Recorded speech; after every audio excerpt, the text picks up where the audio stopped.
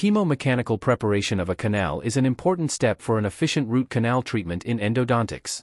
The mechanical treatment involves cleaning and shaping the root canal by using hand or rotary files to remove infected tissue, debris, and bacteria, preparing the canal for filling.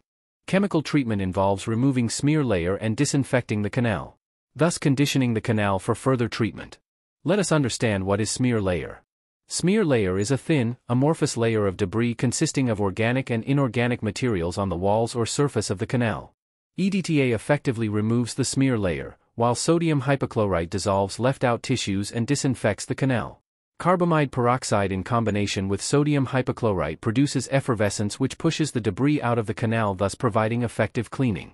Let us now move forward and see the unboxing and demonstration of Maarc Endo Paste which is used as a chelating and lubricating material for chemomechanical preparation of root canals during endodontic root canal treatment. And this packaging contains one syringe of 3 grams. Maarc Endo Paste is CE certified that is a European standard product and also US FDA registered. So out of the box we get Maarc Endo Paste syringe, pre-bent cannula and instructions for use. Maarc Endo Paste contains EDTA disodium salt, carbamide peroxide, lubricants and excipients. EDTA disodium salt removes inorganic smear layer by reacting with calcium ions, that is chelation and decalcify the canal. EDTA binds with calcium ions in dentin. Soften the dentin and lubricates the canal for easy instrumentation for mechanical preparation. Increases dentin permeability, for irrigants to penetrate more deeply into the dentinal tubules, improving disinfection and sealing.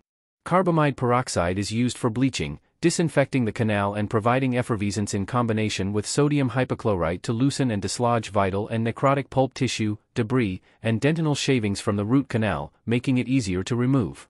For using Maarc Endopaste, isolate the teeth and locate the canal. Rinse the canal with Maarc sodium hypochlorite solution.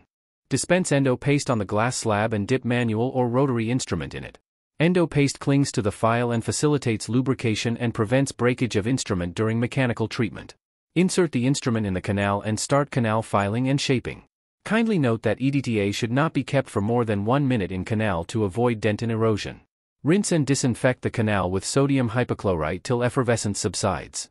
Repeat the steps from 1 to 4 till you reach the apex of canal. Let's take a look at the importance of use.